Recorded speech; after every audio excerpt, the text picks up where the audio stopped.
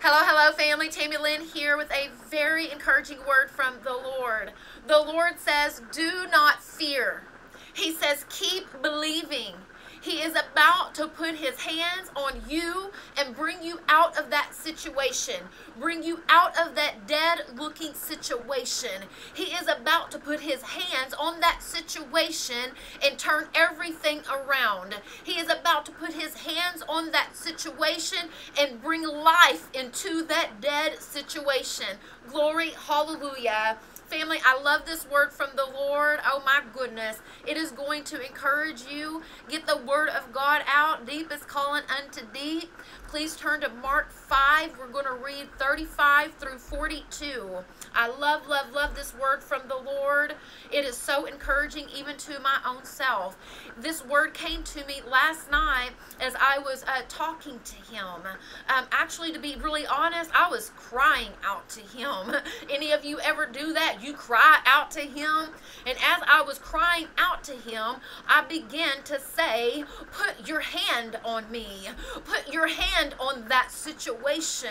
And I am telling you, I was just weeping. But as I was weeping and I was telling him to put his hands on me, to put his hands on that situation, he said he's going to do it.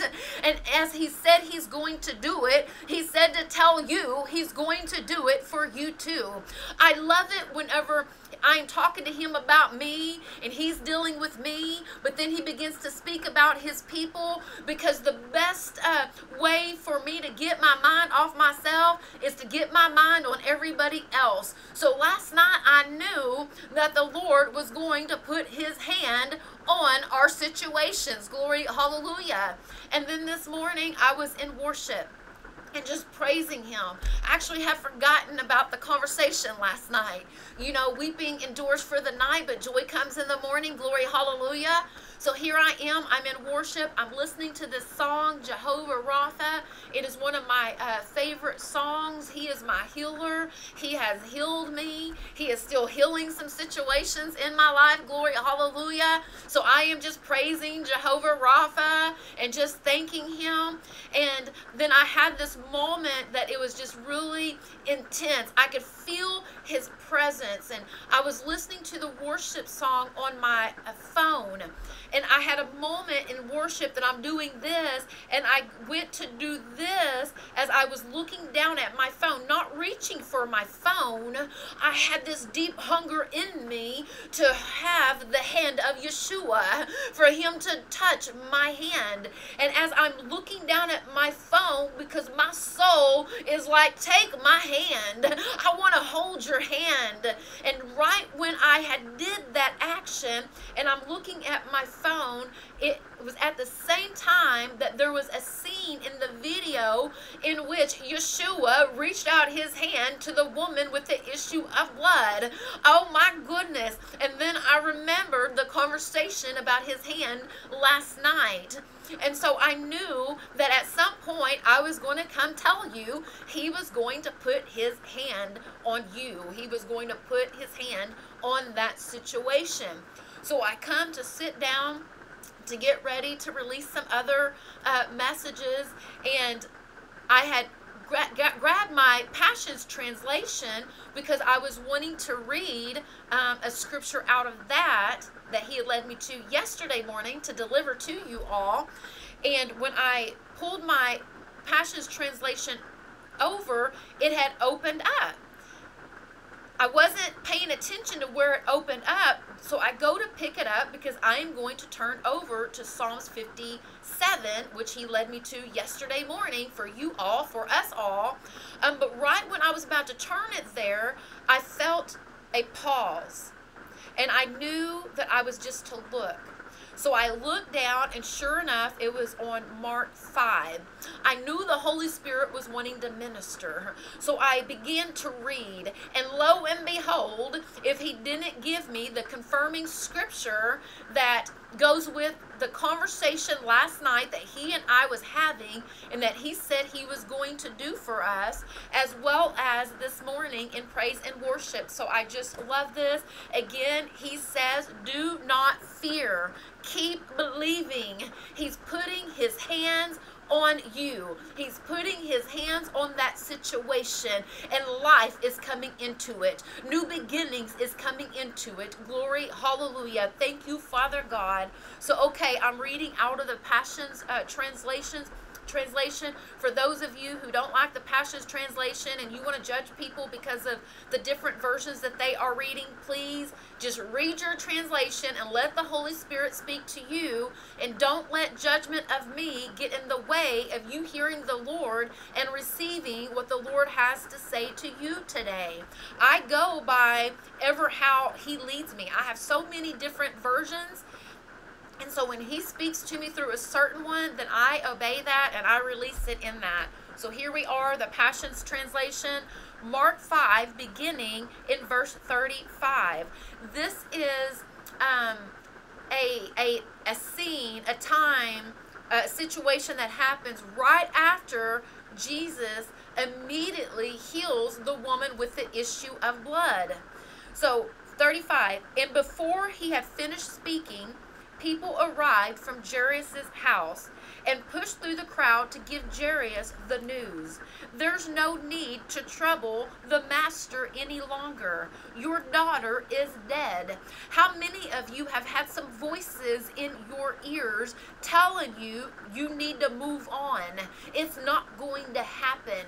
You need to accept it. Come on, I know I'm talking to somebody. Here, Jairus has some voices in his ears telling him to give up, lose hope, it's over, his daughter is dead. But Jesus refused. Jesus is refusing to allow you to remain in that situation. He is refusing to allow you to remain in captivity to that which the enemy has brought against you, oppressing you, trying to defeat you and discourage you, attack your faith, trying to get you so tired, to get you so weary that you just give up. You give up on the promise. You give up on hope of things ever turning around. You give up on Jesus. But Jesus refuses to give up. So, but Jesus refused to listen. You've got to refuse to listen to the naysayers. You've got to refuse to listen to the mockers. You've got to refuse to listen to those who are not speaking the language of God. Glory, hallelujah. Thank you, Father God, for this word. To what they were told and said to the Jewish official, don't yield to fear. He is saying, don't yield to fear. Do not look at the situation. Do not listen to what they are telling you. Oh my goodness, this is some good stuff. He says all you need to do is keep on believing. That's all you need to do. I know you're in a comfortable place right now. You're in a comfortable situation right now. I know that that which you have been facing has looked dead. Perhaps it has been dead. Perhaps it's that seed that fell into the ground that was buried that died so that it can come forth and produce much more fruit. I am telling you, keep on believing. Keep on believing what the Lord had spoken to you. Keep on, keep on, keep on, he says. Glory, hallelujah. So they left for his home. But Jesus didn't allow anyone to go with them except Peter and the two brothers, Jacob and John. Not everybody needs to go with you. Not everybody needs to be around you. Not everybody can speak into your life. Not everybody needs to even be praying for you.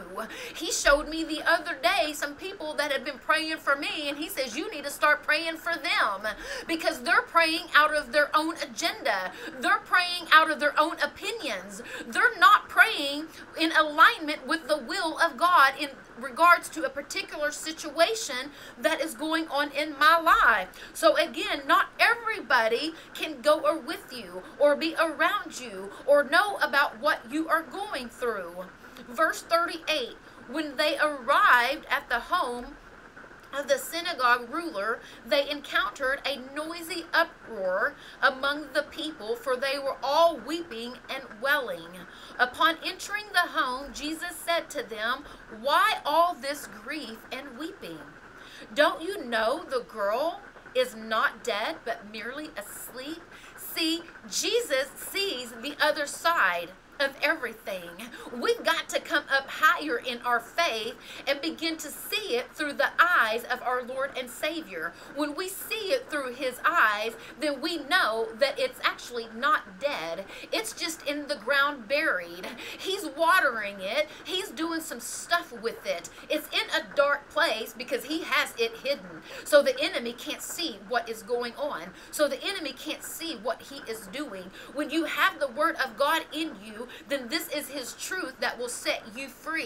Free from the lies of the enemy. The lies that the enemy is trying to feed you about your situation, about what you are going through, about what is going on with your body, with your marriage, with your family, with your children, with your finances. Oh my goodness. Thank you, Father God. Thank you, Father God.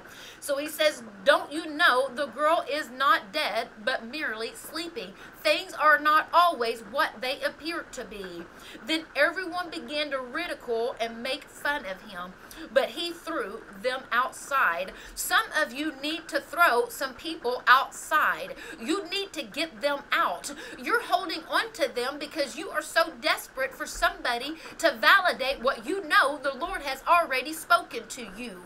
But they are robbing you of your peace. They are robbing you of your joy. They are attacking your faith.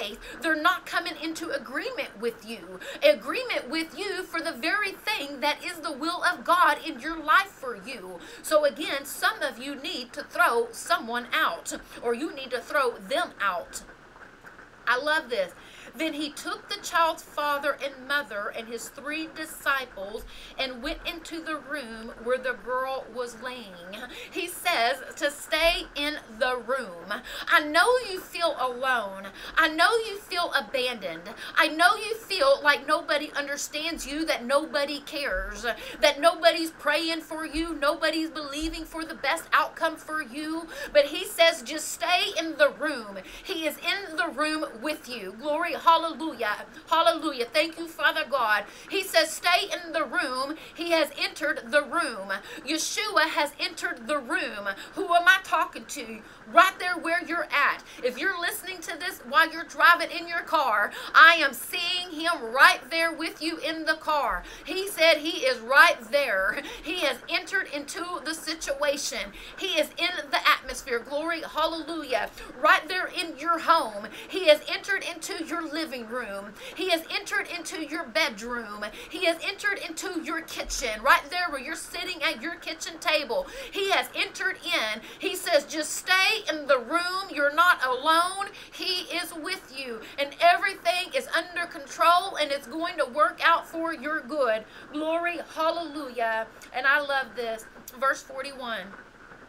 He tenderly clasped the child's hand in his and said to her in Aramaic, Talitha cum, which means, little girl, wake up from the sleep of death instantly. And he's been saying we are in a season in which he is immediately going to be fulfilling his word. In an instant, in a blink of an eye, you are going to go from mourning to shouting with tears of too good to be true. You're not just going to be singing hallelujah, you're going to be weeping. He's been showing me that what he is doing in the lives of his people that have gone through some stuff and they have been in some long seasons of wait and it has not been easy. He says when he does what only he can do, it is going to cause his people to weep. So you are going to go out into the highways and the byways byways, weeping with tears of joy, singing, Look what the Lord has done. Glory, hallelujah. So instantly, the 12 year old girl sat up, stood to her feet, and started walking around the room. Everyone was overcome with astonishment in seeing this miracle. Again, you're going to be overcome with the goodness of the Lord. Others are going to see this miracle. Those who did not believe that it could turn around for you, those that did not believe you were going to come up out of that situation, those who were not believing the best for you, they are going to see Yeshua do what only He can do, and they are going to be astonished. It's all been a setup. Glory, hallelujah. God does not waste anything. Your wait has not been in vain, your tears have not been in vain. He's gathered everyone one of those tears. Glory, hallelujah. Thank you, Father God. So, family, he says, do not fear. Keep believing. He's putting his hands on you. He's putting his hands on that situation, and life is coming into it. He's doing a new thing. He's bringing forth that which you thought and others thought too was dead. Glory, hallelujah. Thank you, Father God, for this word. I thank you for those who have ears to hear you. And I thank you, Yeshua, that you are going to confirm this word in the lives of your people and that you are going to manifest this word in the lives of your people. And they shall come forth testifying of your faithfulness, giving you all the praise, honor, and glory, for you are worthy. In Jesus' name, glory, hallelujah, amen. Family, continue to stand firm on the word of God. Stay strong in your faith. I will talk to you all soon. Shalom.